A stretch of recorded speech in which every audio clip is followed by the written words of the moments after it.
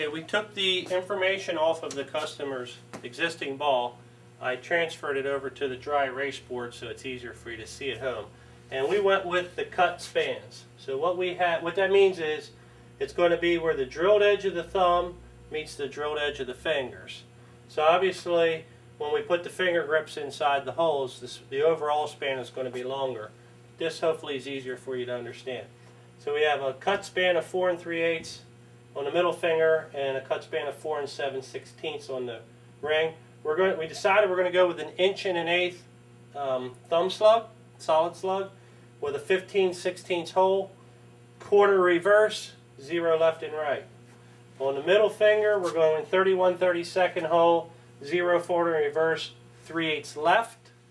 And on the middle finger, 31, uh, I'm sorry, the ring finger, 31 32nd hole, half right, 3 16ths reverse. Okay, just so you know the, the correct terminology. It's forward and reverse, left and right. Palm pitch, away, that's not really an accurate way of talking about it. So forward and reverse, left and right is what we're going to do. Now I'm going to show you how to transfer that information over to the bowling ball. So we're going to use our quarter scale and our yellow marking pencil. Normally when I do bowling balls, I try to keep the, the line of the, of the pencil as fine as what I can. For illustration purposes, we're going to use nice broad lines so it shows up better on the video. We've decided we are going to drill this ball over the where the existing holes were located.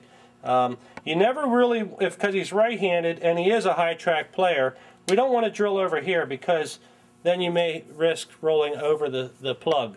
You can do it, but you want to avoid it if at all possible. So we decided we're going to go in, in the same general location. So what I did was I put my quarter scale in the center of the thumb and in the center of the finger holes and I'm going to draw my center line.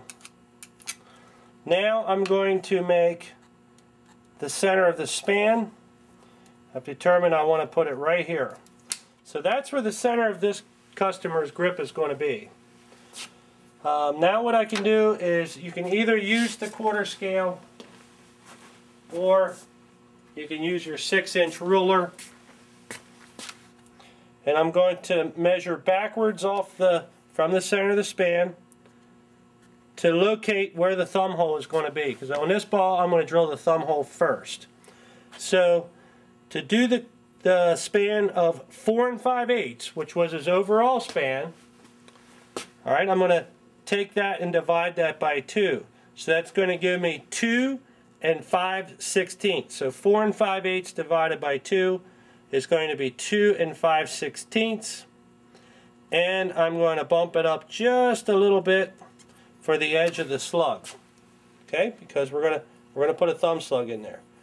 So that's where I want my inch and an eighth drill bit to hit. I want my front edge to hit up here and be, and be something similar like this. Okay?